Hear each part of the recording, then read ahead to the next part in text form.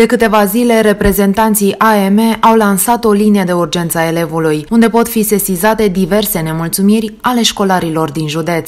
Odată ce au aflat de această posibilitate de a-și face auzită vocea, nu a durat până când elevii să vină cu primele sesizări. Asociația Elevilor din Maramureș tocmai a lansat la inițiativa colegilor noștri din uh, Vâlcea linia de urgență a elevilor. Am creat linia de urgență, mai bine am lansat linia de urgență fiind uh, de la, de cei de la Vâlcea, uh, pentru a fi mai aproape de elevi, pentru a fi mult mai accesibil pentru ei.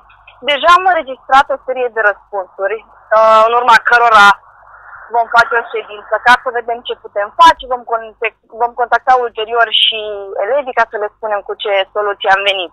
Am primit foarte multe, foarte multe plângeri în ceea ce privește uh, regimul pe după masă, lucru, lucru în care nu știu c- în ce măsură am putea interveni. Totuși vom avea o discuție cu directorii școlilor la care se întâmplă acest lucru.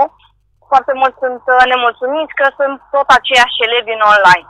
Noi am propune cumva o rocadă, urmează să, să vedem ce se poate face în sensul ăsta, pentru că totuși liceele sunt reabilitare și nu este posibil aducerea tuturor elevilor în același timp. Deocamdată, linia de urgență AM a fost folosită în special de elevi din mediul urban, mai precis din Baia Mare. Însă pe viitor, conducerea asociației dorește să organizeze acțiuni prin care să se facă cunoscută și în mediul rural. Din păcate, asociația, numele Asociației Elevilor din Maramureș nu a prea ajuns uh, în mediul rural pentru, pentru, acest, pentru această promovare în zona aceea.